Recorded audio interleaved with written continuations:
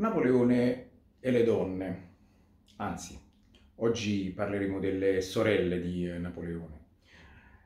Le donne hanno avuto un ruolo importante nella vita di eh, Napoleone, a cominciare dalla madre Letizia Ramolino, che eh, influenzò molto il carattere del figlio e che la qualcosa venne testimoniato dallo stesso Napoleone a Sant'Elena per passare poi alla passione, alla passione della sua vita, no? della sua vita giovanile, cioè a Giuseppina.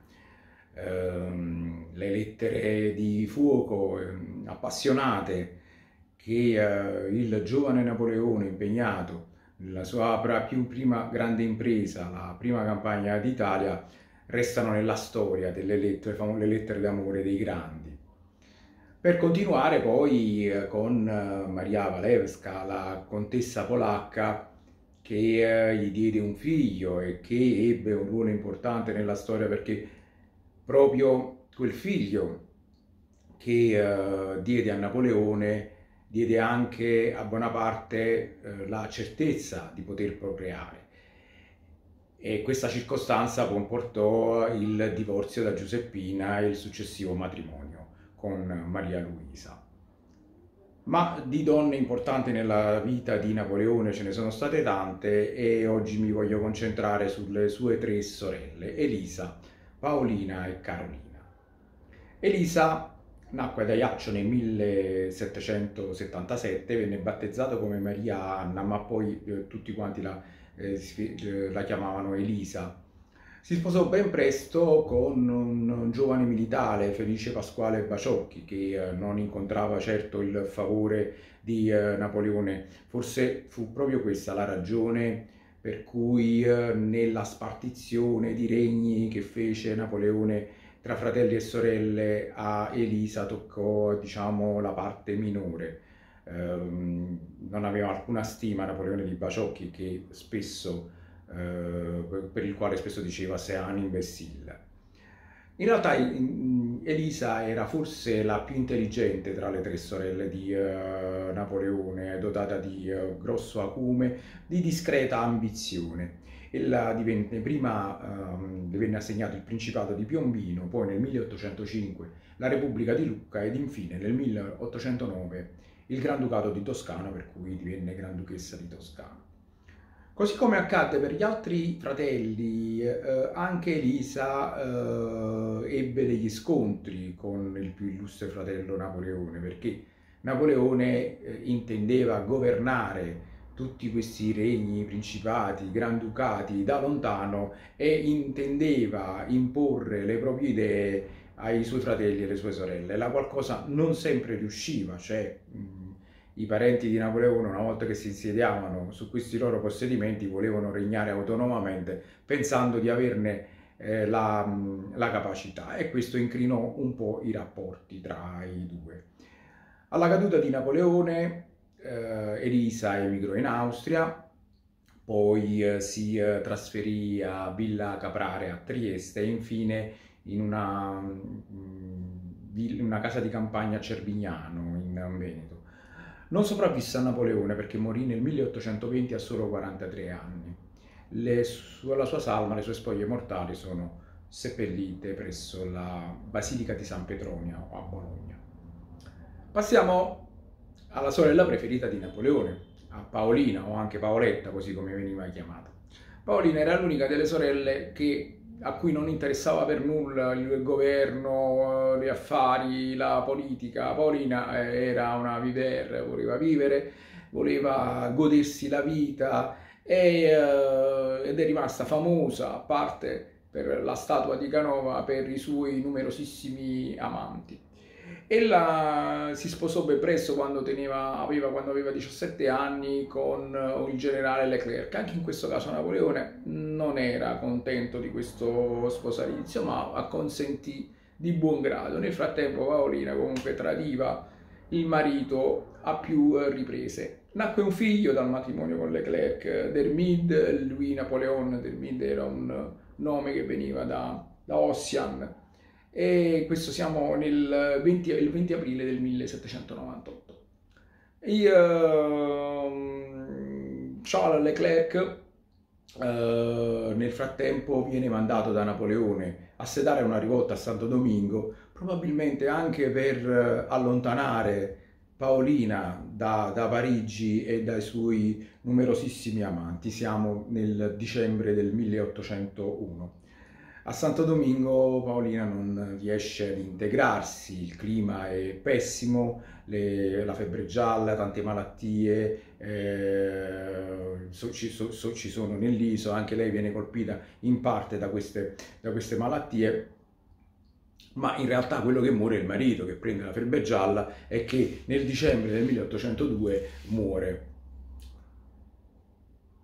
Il viaggio di ritorno è ben triste perché eh, Paolina deve rientrare stessa, sulla stessa nave, imbarcazione in cui c'è il feretro del marito. Torna in Francia e eh, si risposa. In questo caso è il delegato del Papa a Parigi, il cardinale Caprara, Giovanni Battista Caprara, che eh, suggerisce a Napoleone di far sposare Paolina con eh, un principe della nobiltà romana. La scelta cade su Camillo Borghese e i due eh, si sposano e siamo al 28 agosto del 1803. Inizialmente i rapporti tra Camillo e Paolina sono, sono buoni, i due eh, diciamo non vi sono nemmeno tanti tradimenti, vanno d'accordo. Poi accade che si ammala Dermid, il figlio, e quindi eh, e muore. Paolina non riesce a perdonare al marito eh, la morte del figlio perché lo incolpa, avendo il principe borghese portato il eh, piccolo dallo zio Luciano a Canino in una zona che veniva ritenuta eh, piena di malaria, per cui pensa che la malattia del figlio sia venuta da questa scelta del marito, quindi i rapporti tra i due si raffreddano e i due vivono in, in pratica da separati, distaccati. Uh, Paolina, uh, le, i rapporti tra Camillo Borghese e Paolina si uh, diventano migliori proprio nell'immediatezza della morte di, di, di, Paolina, dove il principe borghese si rifà vivo. Eh, dopo la caduta di Napoleone, dopo la prima abdicazione, Paolina, che è la preferita di Napoleone, eh, lo segue all'isola d'Elba assieme alla madre Letizia. E quando c'è la seconda abdicazione, l'esilio definitivo a Sant'Elena, ella si offre di seguirlo. Chiaramente gli inglesi vietarono questa, questa prospettiva. Si trasferì a Roma in una residenza nei pressi di Porta Pia, oggi sede dell'ambasciata francese presso la Santa Sede, questo Palazzo Bonaparte, una bellissima palazzina, e uh, muore nel 1835. Passiamo a Carolina, nel 1825. Passiamo a Carolina. Carolina nasce nel 1782, così come ebbe a dire Napoleone a Sant'Elena veniva considerata un po' la Cenerentola fra le sorelle, diciamo quella meno dotata, più frivola, ma in realtà Carolina poi si dimostrò eh, in maniera diversa. A 16 anni intese sposare Gioacchino Murat, eh, anche in questo caso Napoleone non è che era troppo d'accordo, cercò di rimandare il matrimonio, ma i due vollero per forza sposarsi e quando aveva 18 anni Carolina sposò Murat, siamo al 20 gennaio del 1800, molto ambiziosa così come il marito, eh, divenne Granduchessa di Berg e Clèves nel 1806 e poi regina di Napoli, regina consorte di Napoli il 1 agosto 1808 quando Murat appunto fu eh, nominato re di Napoli e il eh, fratello di Napoleone Giuseppe passò a diventare eh, re di Spagna. Eh, Carolina si impegnò anche lei molto a collaborare col marito eh, nel governo della città di Napoli, eh, contribuì ad abbellire le residenze reali, in particolar modo quella di Capodimonte, e diede grande impulso anche agli scavi eh, di, eh, di Pompei.